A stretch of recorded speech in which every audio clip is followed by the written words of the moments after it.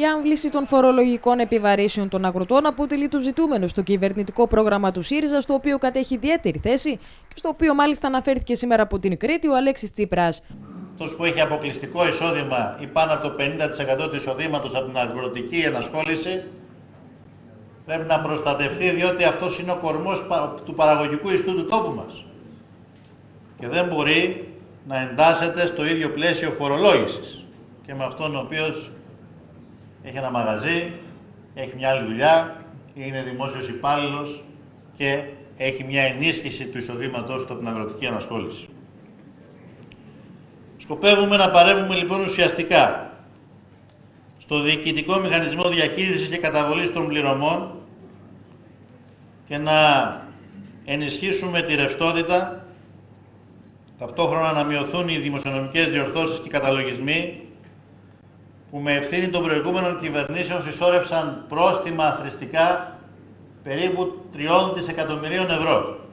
Ο πρόεδρος του ΣΥΡΙΖΑ από την Κίσαμο επέλεξε να κάνει ιδιαίτερη αναφορά στα προβλήματα του αγροτικού κόσμου που αποτελεί άλλωστε και την μεγάλη μερίδα του πληθυσμού του νησιού. Τόνισε την ανάγκη της αναδιοργάνωσης του αγροτικού τομέα σε σωστές βάσεις, αναπτύσσοντας μία σειρά μέτρων.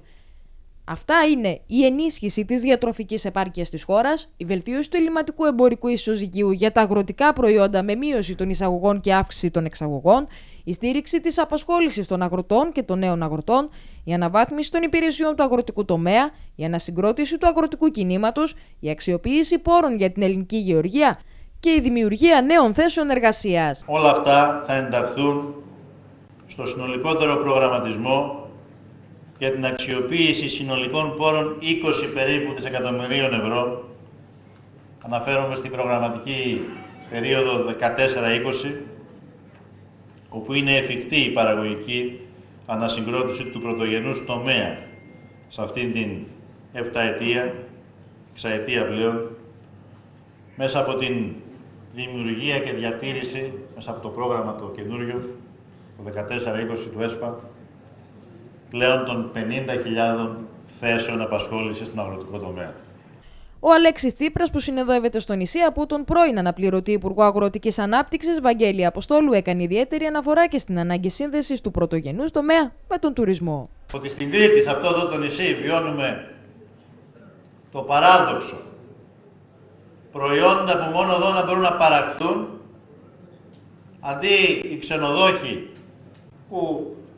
γιατί η Κρήτη πράγματι είναι ένα νησί με ανεπτυγμένο το τουριστικό τομέα, να υπάρχουν οι συνεταιριστικές υποδομές σε προσιτές τιμές, να τα παίρνουν τα προϊόντα από τους παραγωγούς,